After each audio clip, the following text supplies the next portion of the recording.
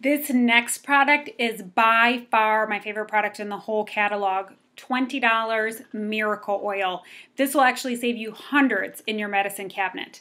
This product alone, um, the main ingredient is tea tree oil. So if you're familiar with that, that's what creates the miracle in this Miracle Oil. This will cure everything from warts, head lice, dandruff, um, any kind of burn, scrapes, poison ivy, um, mosquito bites, did I say that? Head lice, dandruff. You have dry cuticles, you can drop a little bit on here in your lotion if you have eczema, psoriasis. Um, the dandruff, this you'd put a couple drops in your shampoo.